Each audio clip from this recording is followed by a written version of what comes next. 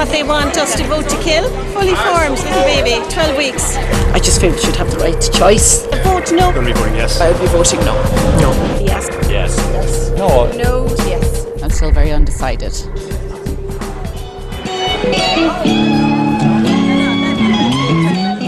Right now in Ireland, we're just weeks away from a referendum on the Eighth Amendment. The Eighth Amendment is a law in our constitution which essentially equates the life of the mother to that of the unborn.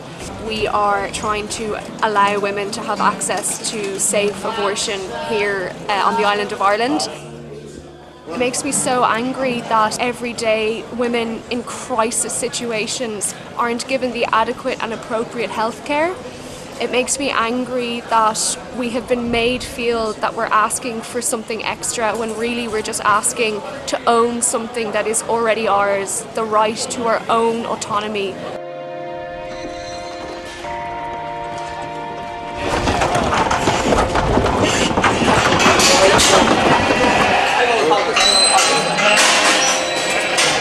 Very little. It's not mentioned. Most farmers will keep their opinions to themselves anyway, as such. You know, I suppose most urban people would probably vote yes. I think most rural people mm, maybe would be on the no side.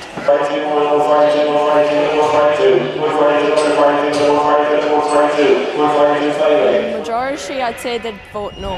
In certain circumstances, yes, the, the mother would have to be looked after in that.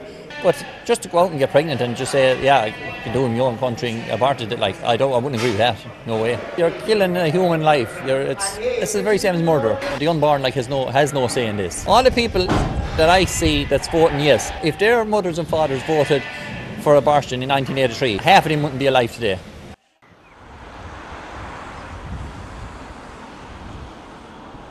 There is a higher support for abortion in Dublin, but outside of Dublin there isn't. As people inform themselves and realise that what the government are offering is abortion on demand on very similar grounds to what's available in Britain, they don't want that. Abortion is not a compassionate response to a difficulty in a pregnancy. What women need during pregnancy at any stage is support, not help to end the life of their child.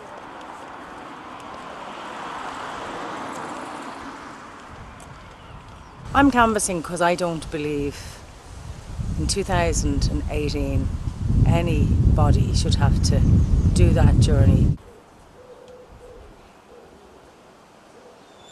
This procedure could have happened in my own home country and for me not to have to travel. And I was really lucky because I wasn't sick, everything went, you know, smoothly. That's not the- case for a lot of people, that it, it should be able to happen in your own country.